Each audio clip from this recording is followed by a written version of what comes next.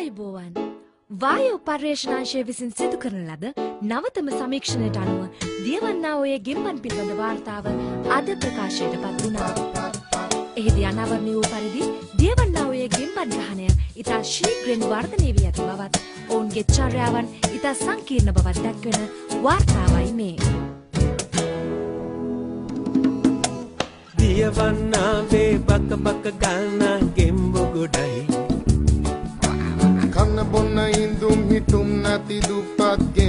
ගෙම්බෝරැලයි ඒ දුප්පත් ගෙම්බන් සූරං කන පොලිටික් ගෙම්බොයි.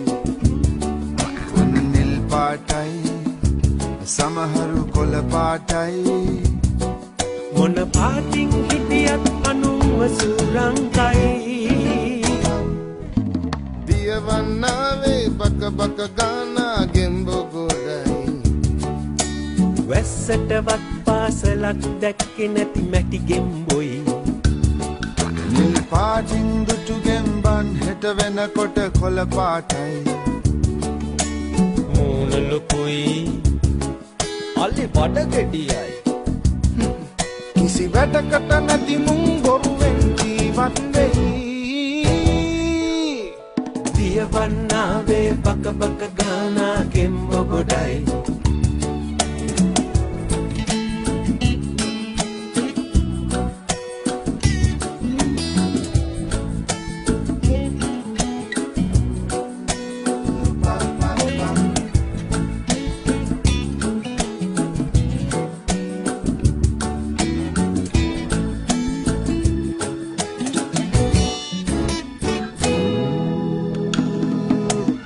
දියවන්නාවේ බක බක ගානා ගෙම්බො ගොඩයි.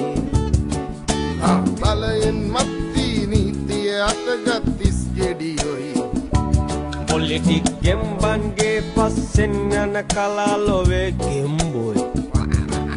උන් සින්දු හදයි පැන පැන කඩේම යයි. මොන දේවල්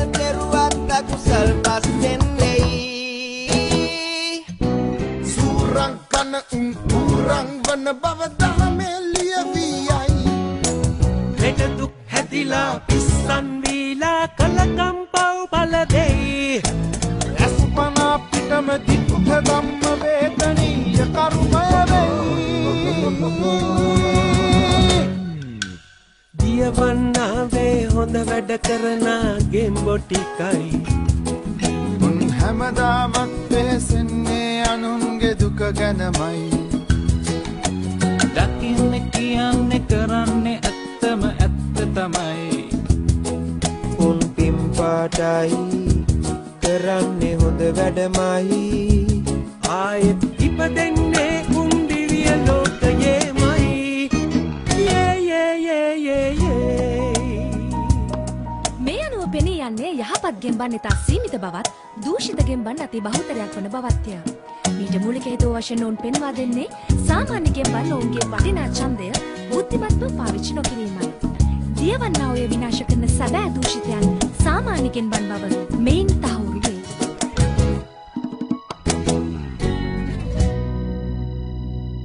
Wow.